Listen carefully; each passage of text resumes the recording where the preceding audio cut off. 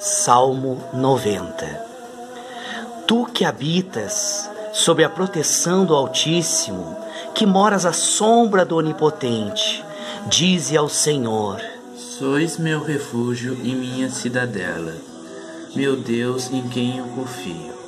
É Ele quem te livrará do laço do caçador e da peste perniciosa.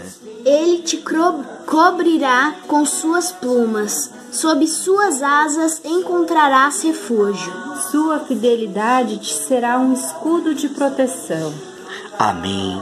Um abençoado dia, graças, bênçãos. Essa semana será uma semana de muita alegria, de muita paz. Aqueles que confiam em Deus, aqueles que colocam a sua esperança no nosso bondoso e amado Deus. Acredite, confie, o Senhor está contigo. Bênçãos e graças. Amém.